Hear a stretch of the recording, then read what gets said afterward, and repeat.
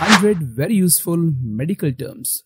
In this session, you will learn and become fit enough to understand the maximum terms words are used in the medical field. Let's start. Anemia. Anemia is a condition characterized by a shortage of red blood cells RBC or a lack of hemoglobin in the blood, leading to fatigue and weakness. Next term, hypothyroidism.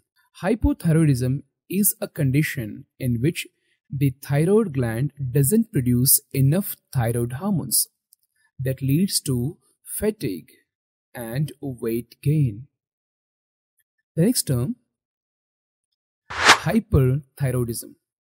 The hyperthyroidism is overproduction of thyroid hormones by the thyroid gland that results in symptoms like weight loss and anxiety. The next term, dysphagia. Dysphagia is a situation. It is a difficulty in swallowing.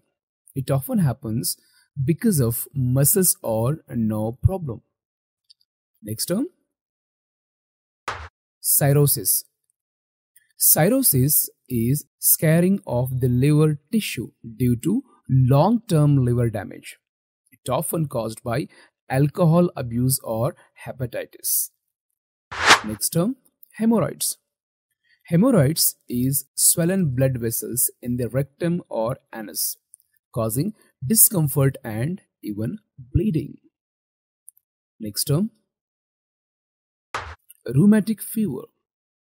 Rheumatic fever is an inflammatory condition that can develop after a streptococcal throat infection affecting the heart and joints.